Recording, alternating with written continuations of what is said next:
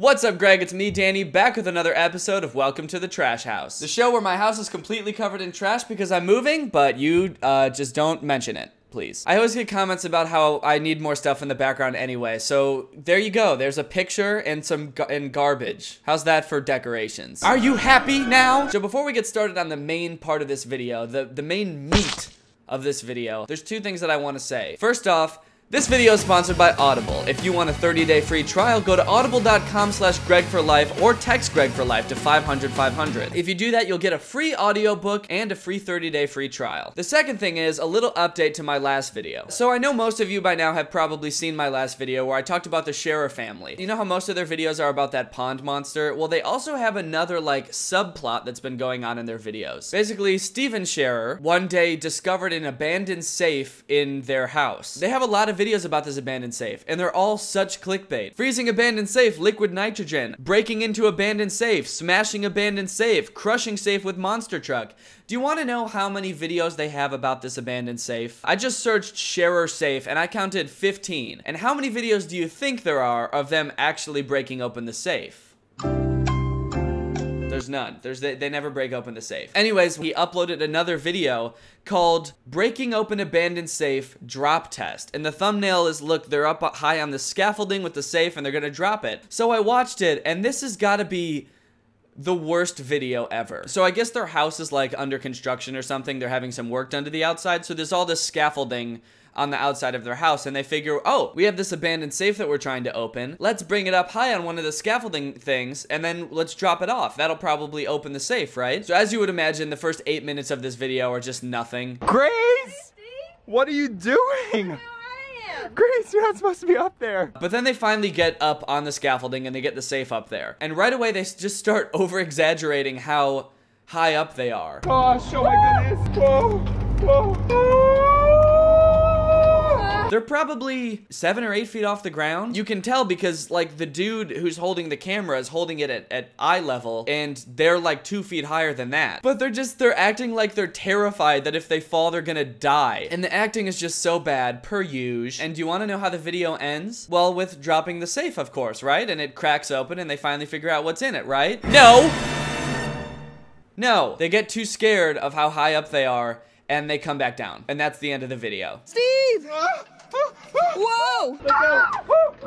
That was a lot harder than we thought. Oh, It's a classic Sharer family strategy. They get you hooked with a great clickbait thumbnail and title, and then they wait till the very end of a long video to do the thing that was in the thumbnail and title, and then at the end of the video, they still don't do it. Anyway, I just thought that was an interesting update to the Sharer family saga. It was something that I wanted to include in a video, but I don't think it deserved an entire video about. So now let's get into the main meat of this video. So I've always thought that I couldn't really make a video Googling myself. Because when other YouTubers Google themselves, the things that come up are net worth, height, where they were born, and where they grew up, and where they went to high school, and all that stuff. And I've never really revealed all that stuff on the internet, so I'm like, well, obviously there's no articles about it then. But it turns out that there are, and the way that there are is they just make all those things up and then they post it in an article. So I had an experience with a, a website like these a while ago. It's called Famous Birthdays. A lot of people are aware of this website because it's sort of like a Wikipedia page for like internet personalities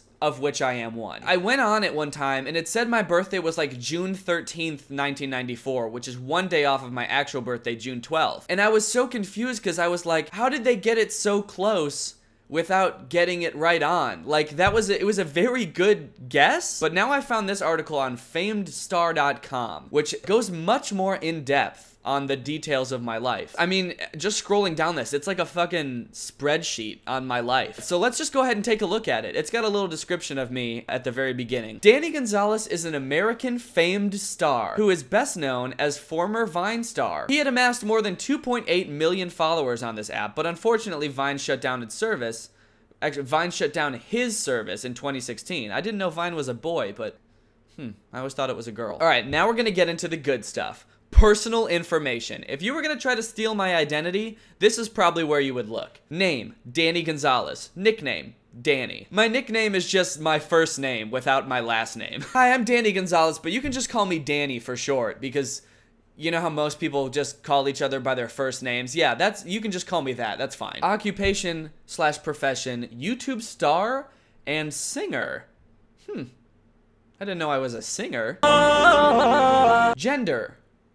Male. Yeah, that's true. Age 24 years old. Now, this one is actually pretty impressive that they got right because most people think that I'm 13 years old, uh, but I'm actually 11 years older than that. Okay, I like I like this part. Education information. Qualification? Is he qualified to be making YouTube videos? Well, he did graduate with a degree in computer science, so so no. Where he did his schooling? Not known. But where did he graduate? Oh, from Georgia Tech. They're like, we don't know where he went to school. All we know is that he graduated from Georgia Tech. There's some weird contradictions in here. This next part marital status, unmarried. Wife name? Laura. He doesn't have a wife, but his wife's name is Laura. Then there's a section with my achievements. It's got all of my social media followings, but I really like this part where it has songs, because it has Spooky Boy Beef With Me, Dab on the Haters, Greg, and then it also has Dentro de Mi, which if you haven't been to my Spotify page, uh, this was recently fixed, but there was this other artist named Danny Gonzalez who sings songs in Spanish who was posting songs to my Spotify page somehow. So there would be all of my songs, which are like comedy rap songs in English, and then there were just like two songs by this guy who sang like I, like mariachi Spanish songs. It, uh, it confused a lot of people. Now, this next article is my favorite. It's on a site called Heightline.com. It's called Danny Gonzalez Biography, Age, Wife, Family Life, and Other Facts. I really like the two pictures they used for me here. You sort of get a sense of my range of characters that I do. You know, you've got this one character who looks like concerned and pensive, and this other character who looks like upset and thoughtful. I'm trying to think of how best to describe the person that wrote this article. I think that they're six and a very big fan of me. You can tell from the very beginning. As a child, Danny knew he was meant to be an internet star. That's true. I, I knew that I wanted to be a YouTube star since I was, gosh, since I was six, which is crazy because that was five years before YouTube was invented. The internet personality finally got an opportunity to show the world his creative talent on Vine in 2013 when his first video captioned, Target headphones like What's Up hit the internet, launching him into immense popularity. Yeah, the very first Vine I posted where I was trying on headphones in Target and just testing out how the app worked, launched me into immense popularity. You'll get to know more about him in this piece. Don't worry, we're not, it's not done yet. You'll get to know more about him. We know all we've told you so far is that he's wanted to be a YouTuber since before YouTube was invented, and that his very first Vine video launched him to viral success. Uh, but you'll get to know more about him in this piece, don't worry. This article is broken up into several sections. The first section is called Danny Gonzalez's Biography, Age. Here's where we're gonna learn my life story. You know, I don't really like to get too personal on my social media accounts. I don't really talk about my private life that much or, you know, my background and stuff like that. So I'm interested to see what this article knows about my personal life. Danny Gonzalez was born in Illinois, Georgia, in the United States on June 12, 1994. So, okay, so nothing. They don't know anything.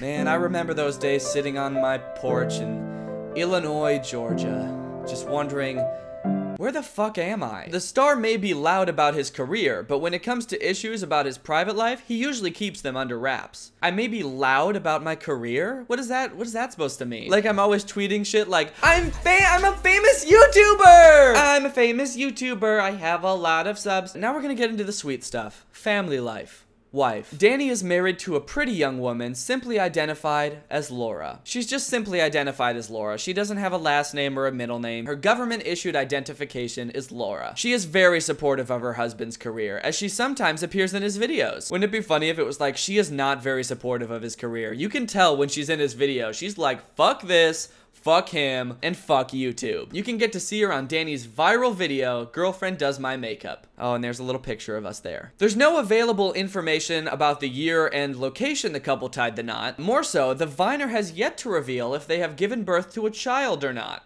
I like the insinuation that if we had a kid, we would make a video saying that we had a kid. But if we didn't have a kid, we would also make a video letting you guys know. Uh, hey guys, um, we have some exciting news. You know, there's been some rumors and speculation going around the internet lately, and we just want to say that the rumors are true. Uh, we don't have any kids. So thanks for watching. We'll see you guys next time. From what we gathered, however, Danny and Laura are the best of friends. They are in love with each other so much and can be said to be each other's perfect match. I like how it's like, we really don't know anything about their relationship. We don't know when they got married, if they have kids or not. But we do know that they are madly in love with each other and they're each other's perfect match. Other facts about the Vine star. He is a musician. Gonzalez is not only popular face on the internet, his name sure rings a bell within the music community. Yeah, if you ask anyone in the music community, my name sure rings a bell. Though his music career is still growing, he has released some songs and is planning to drop more in the near future. Some of Danny's viral hits include Beef With Me, and Dentro de Mi. God damn it. The channel boasts more than 600,000 subscribers. No, it doesn't. Okay, guys, this one, this next one is my net worth section. Now, I don't usually like to flex on you guys. You know, I, I have a very humble apartment with no decorations. In fact, it's full of trash. But I do, I, I do have to admit that this section in particular, they, they hit the nail on the head. I'm actually pretty impressed with how well they were able to uh, narrow this down. While some sites reported that his fortune is valued at $5 million, others claim that his fortune sits between 5 to $600. While this will make it a little bit difficult for us to tell you how much he has amassed from his online career, we are positive that Danny boasts a sizable net worth. Again, I didn't want to flex on you, but my net worth is somewhere between $500 and $5 million. So sorry to flex on you guys again, but you know, it's already in the article, so you could have read it there yourself. This next section is called Body Statistics. It starts off with this small little paragraph that I think sums myself up perfectly. It is generally believed that one of the reasons that the YouTuber has so many female fans on his side is because of his good looks. Of a truth, Danny Gonzalez is amazing and hunky. He is blessed with distinctive features that make it impossible for any lady not to love him.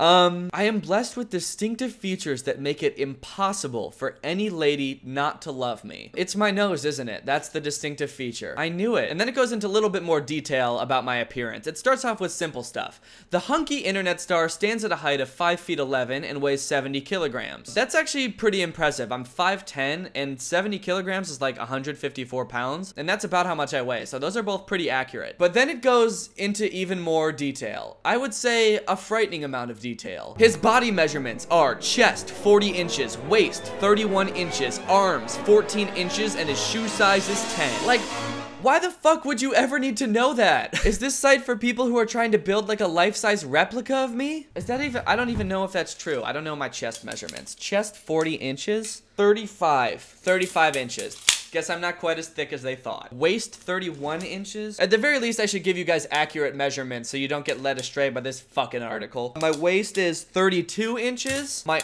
arms are 14 inches. 21 inches. My, I thought my arms were 14 inches? That's like this, that's like this long. That's the length of my forearm. That'd be like if my arms were this long. he flaunts a set of beautiful blue eyes and brown hair. Then the article talks about my birth sign being Gemini. It has a whole section about about my ethnicity where it says, uh, we don't know his ethnicity. And then it ends the article with a nice little happy ending where it says he currently lives in Atlanta, Georgia with his beautiful wife which isn't true. Uh-oh, you know what that means? It's time for a word from our sponsor, Audible. Ugh, what am I gonna do with all this stuff? Guys, I know I mentioned this already, but I'm moving soon. In just a couple of days, me, my wife, and my dog are gonna be driving from California to Illinois. We've got all our stuff in boxes. We've got board games, card games, and board games packed up in boxes. Guys, if you've ever spent 30 hours in a car before, you know that spending 30 hours in a car sucks. Just take it from Peanut. But one thing that can make car rides a lot more bearable is listening to a good audiobook. Audible is the best place to listen to audiobooks. It's an app you can get on your phone. They have thousands, maybe even more than that. I have no reference for how many audiobooks they have, but the amount that they have is insane. You can listen to them right on your phone. It's so crazy even my dog's getting excited about it. Honestly, a little bit too excited. That's enough out of you, Peanut. Gosh, one thing I've always wanted to do is read the Harry Potter books. I've only ever seen the movies because I'm a piece of millennial trash and I, I don't like reading. But since I've got 30 hours in a car where I'm not doing jack shit, I'll probably just listen to it on an audiobook. Plus, Laura won't let me read books while I drive because she's a jerk. Okay. Do you want to know the best part? Come with me. You can go to audible.com slash Greg for life and get a free 30-day trial and a free audio book. That's right. I'm talking Gatsby. I'm talking Harry Potter. I'm talking Catcher in the goddamn rye up in this bitch. Head on over to audible.com slash Greg for life or text Greg for life to 500 500 and start your free trial today. And claim your free audiobook. Now, I better get back to packing. Where does this go again? In my mouth? Oh my god. All right, guys. Well, I hope you enjoyed this video. If you're new here, make sure you subscribe to join Greg. We're the fastest growing channel on YouTube. Don't look that up. Thanks. Thank you probably Haley for turning on my notifications. You are truly Greg. I'll see you guys next time with a really interesting video where I get all my belongings, pack them up into bags and boxes, I shove it in my mouth, I get all big and fat with a big jiggly belly, and then I walk from here to Illinois where I'm gonna start my new life with an apartment full of partially digested belongings. Bye!